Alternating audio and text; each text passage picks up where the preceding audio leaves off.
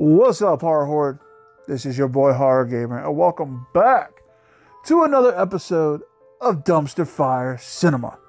And boy, does your boy Horror Gamer got a turd for you today. That's right.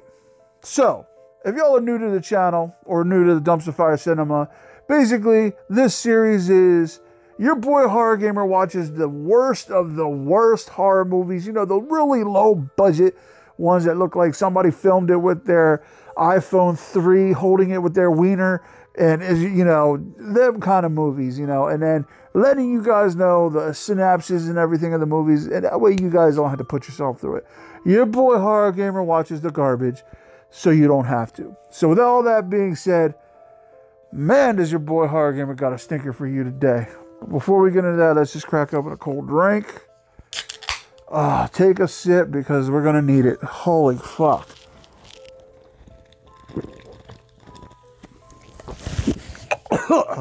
oh. Yeah. Boy, as you can tell from the title of this episode of Dumpster Fire Cinema, we're going to be diving into the cornfields with Sharks of the Corn. Guys, I can't even make this shit up. This movie is called Sharks of the Corn. And this movie is holy Christ. It is a mishmash of just ass juice. It's like the movie's called Sharks of the Corn of the Corn, so it has that aspects of sharks in, in a cornfield. Then it has some kind of murder mystery cult doo doo dumpster fire. And then it has a monster movie in the fact that Bigfoot, yes, Bigfoot makes a fucking appearance in this movie. So, this all starts. Okay, so do you guys remember a couple videos ago where I did uh, the dumpster fire cinema on um, uh, Fright Vision, Dr. Boobenstein, you know, yo, yo, you know what I'm saying? Well, she's in this movie and you get to see them chesticles, yo, what's up? Mm, just the way God intended. But, anyways, that's not here nor there. She gets her ass killed in the first 10 minutes of the movie. Her and her drunk ass boyfriend are playing this game called Hide and Go Fuck or Hide and Go Naked or some fucking stupid shit. Basically, she's running in the cornfield and he's following her all fucking drunked up or, you know, whatever. And um, she's taking off clothes as she's going. And um, she gets she gets to the middle of the field and she sees this like scarecrow with a shark's head on. I don't fucking know. This, this movie was just all over the place. Well, anyway, the chase scene where she's being chased out of the cornfield by this shark was hilarious because she's going, oh no, oh, like flail her, oh god, no. And then the fucking shark comes up, which is an obvious puppet. Like they don't even the CGI it is fucking terrible. But it's this giant like shark puppet I guess they made for the production of this movie. It only has one face where its mouth is just gaped open the whole time. There's no like nothing. And when it goes to attack somebody, it just they just push it into the person. it's fucking terrible.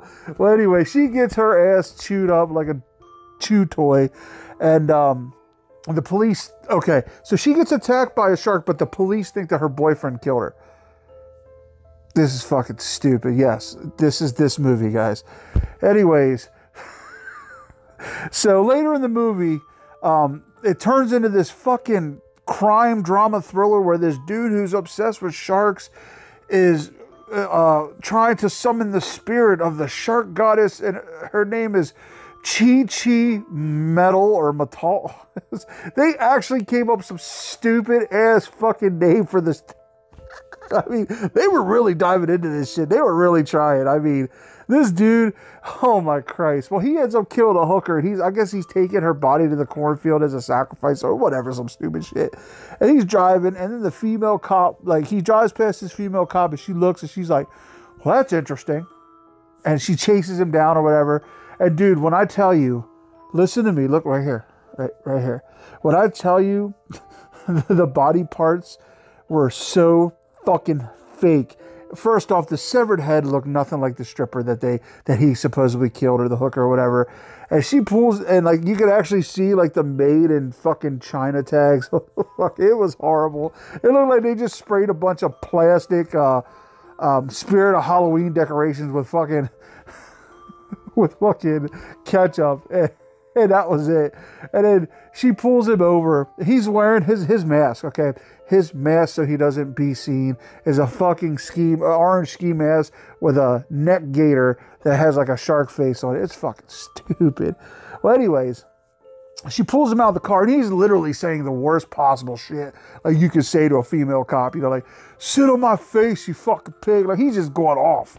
And then in the interrogation sequence later, she's like. I pulled you over for a traffic violation. Bitch, no, you didn't. You pulled him over because you said, hmm, that looks weird.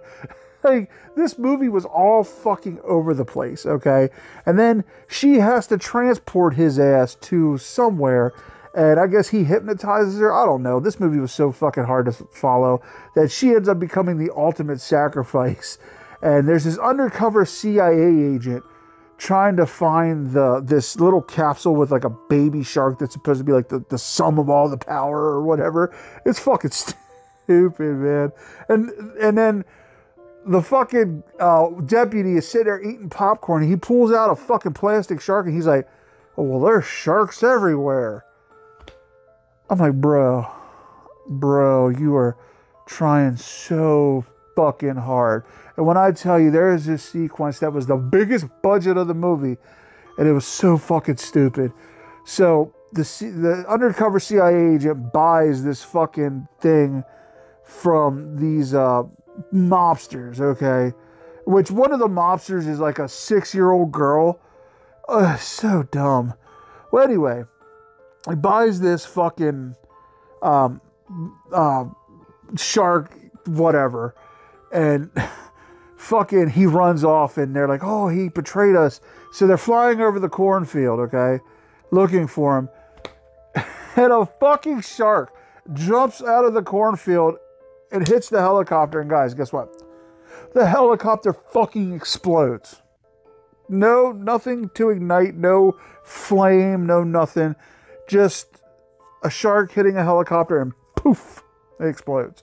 Then that leads us to the end of this fucking godforsaken dumpster fire where he ends up finishing the ritual, okay?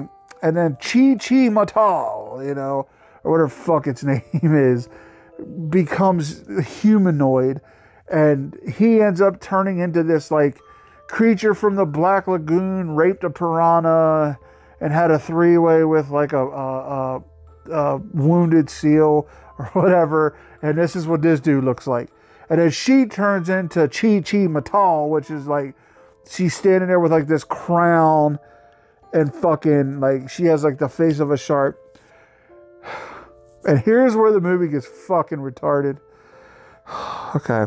So they're shooting them with the guns, a CIA agent and um, the guy from the beginning's brother, who is a real estate agent. I don't know how he came into play really. He he had this thing where, oh, you know, come here and buy land and you know look for Bigfoot or whatever, blah blah blah.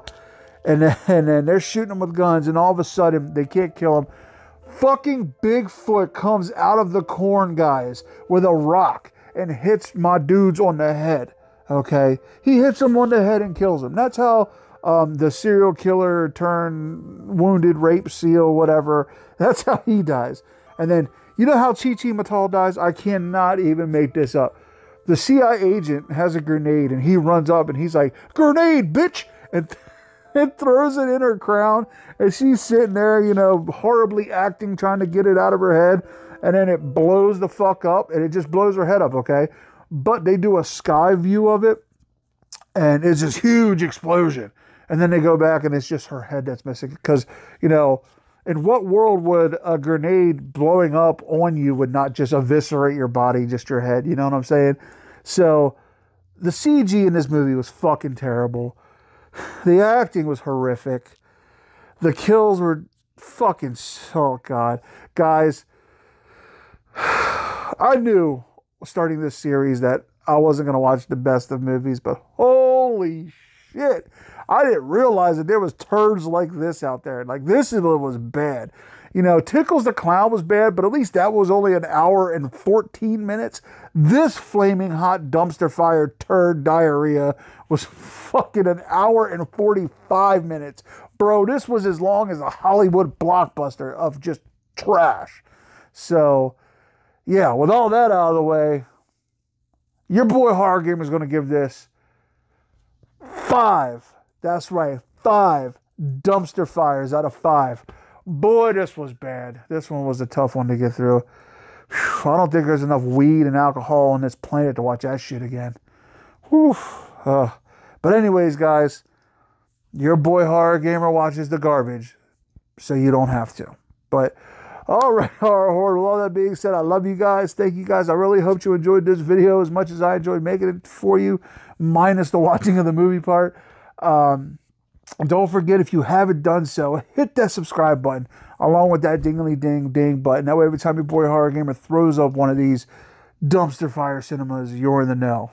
You need to be in the know. Because if I'm doing the fucking legwork here, no, I'm just kidding. But, anyways, guys, with all that being said, I love you guys. Thank you guys. Don't forget, though, definitely go down to the description, hit that Twitch link, and go over to your boy Horror Gamer's Twitch and watch him play some video games and just have a good time and just talk with him. And let's just be happy, you know? But no, I'm just kidding. All right, but no, definitely go over and check out that Twitch though. I'm not kidding about that. But anyways, all right, guys, all that being said, I love you guys.